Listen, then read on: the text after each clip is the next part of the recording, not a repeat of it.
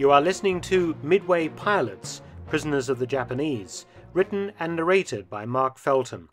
This is an audio only episode for War Stories with Mark Felton. The Battle of Midway on the 5th of June 1942 would end with Japan's vaunted carrier fleet in ruins and Japan placed on the defensive at sea. It was also one of the Second World War's great turning points. Only half a year before Midway, the US Pacific Fleet had been devastated by the stunning Japanese carrier strike against Pearl Harbor, masterminded by Admiral Isoroku Yamamoto.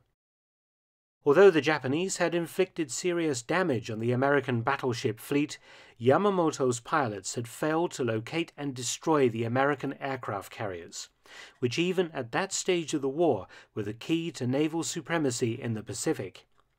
For the Japanese, it meant that they would eventually have to deal with those carriers in a major fleet engagement, and failure to destroy them a second time would mean that Japan would be thrown on the defensive in the Pacific theater. The Japanese decided to take the initiative and place the American carriers in a position from where they could be destroyed. Central to their plan was an attack on Midway Island, a lonely U.S. outpost in the Pacific. This attack would provide a lure that the American carrier fleet commanders could not resist reacting to. A Japanese victory would secure them naval supremacy until at least late 1943 and push Japan's defensive perimeter still further from the home islands. As it happened, American penetration of Japan's naval codes enabled Admiral Chester Nimitz to trap the Japanese fleet instead. Midway was the battle that decided who would ultimately win in the Pacific and it was the first carrier versus carrier battle in history, where none of the ships of the two great fleets sighted each other. The American aircraft carriers USS Enterprise, Yorktown, and Hornet faced a much larger Japanese fleet consisting of the carriers Soryu, Akagi, Kaga, and Hiryu close to Midway Island. The fate of American aircrew who was shot down during the terrific air battle to destroy these carriers and were captured by the Japanese only came to light after the war when the US Navy obtained a copy of Vice Admiral Chuichi Nagumo's Japanese Fleet Action Report. The fates of three men in particular caused the Americans to launch an investigation into possible war crimes having been committed against prisoners of war. The first story concerns a young American naval aviator who was part of a torpedo bomber attack on the Japanese carrier force on the morning of the 5th of June. The torpedo bomber squadron suffered the heaviest casualties as they launched virtually suicidal attacks on the Japanese carriers through swarms of enemy fighters and clouds of flak. Of 41 Douglas TBD 1 Devastators that took off on these missions, 37 were shot down. The story of one squadron's battle showed how savage the fighting became, and how the Japanese were ill disposed to grant downed airmen any quarter. Twelve Devastators of U.S. Navy Squadron VT 3 lumbered into the air off the deck of the Yorktown and headed for the last reported position of the enemy's carriers. Led by Lieutenant Commander Lance E. Massey, the last aircraft in the formation was piloted by Ensign Wesley Osmus. Osmus, sitting in front of his radio operator gunner, Benjamin R. Dodson Jr., was in the most vulnerable position, effectively the formation's tail end Charlie. Osmus had enlisted in the U.S. Naval Reserve in 1940, and this was his first experience of combat. When VT 3 was 14 miles from their target, the squadron was pounced on by defending Japanese Zero fighters. The Zeros came in behind the Devastators, and although the rear gunners did what they could to try to force them off, it was an unequal fight. According to Osmus's Navy Cross citation, quote, participating in a torpedo plane assault against Japanese naval units, Ensign Osmus, in the face of tremendous anti aircraft fire and overwhelming fighter opposition, pressed home his attack to a point where it became relatively certain that, in order to accomplish his mission, he would probably sacrifice his life. Undeterred by the grave possibilities of such a hazardous offensive, he carried on, with extreme disregard for his own personal safety, until his squadron scored direct hits on two enemy aircraft carriers. Unquote.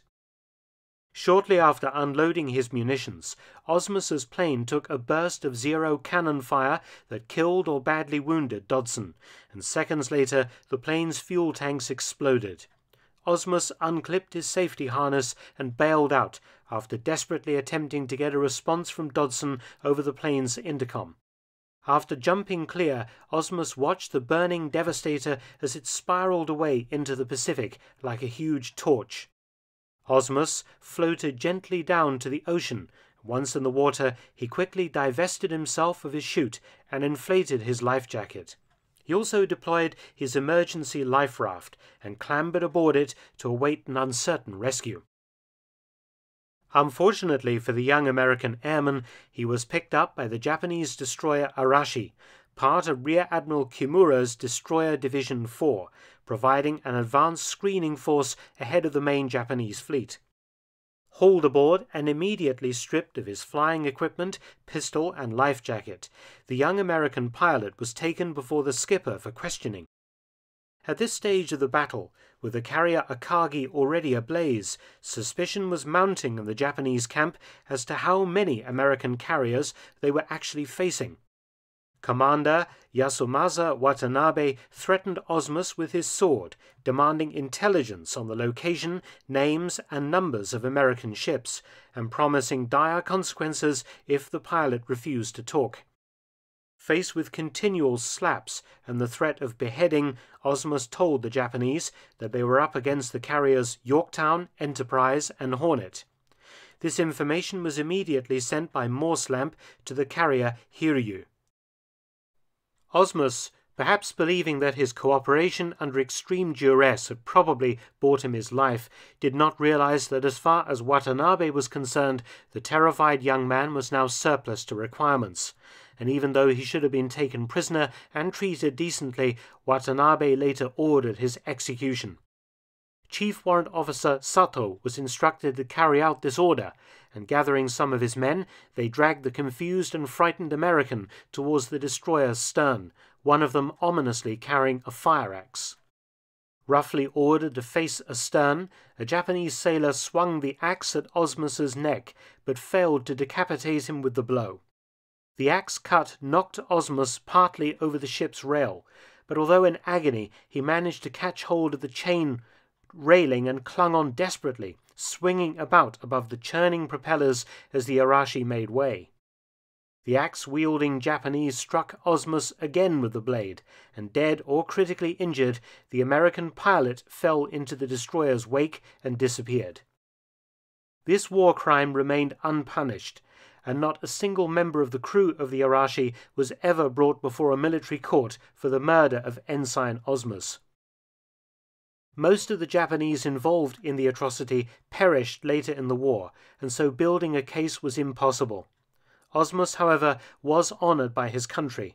On the 4th of November 1943, the destroyer escort USS Osmus was launched in Bay City, Michigan, and the ensign was posthumously awarded the Navy Cross, Purple Heart, and the American Defense Medal for his courage in pressing home his aerial assault on the Japanese carriers.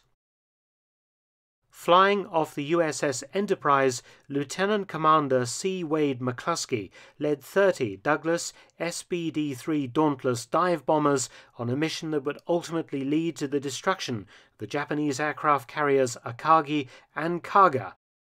The air over the two carriers, which was soon an inferno following McCluskey's successful strike, was thick with American and Japanese planes. Dauntless dive bombers were milling around over the target, many of the pilots rookies who were looking to more experienced aviators to lead them back to the Enterprise. Japanese Zero fighters attempted to wreak their revenge for the American success. One of the experienced American pilots was Lieutenant Charles Ware, and he managed to gather together five other aircraft into an ad hoc group, ordering them to close up and descend to sea level for the return flight to the Enterprise. Zero fighters trailed them away from the burning carriers, making strafing attacks from behind, and Wade ordered the gunners in his formation to concentrate the fire of their twin 30 caliber machine guns on each Zero as it made its attack pass.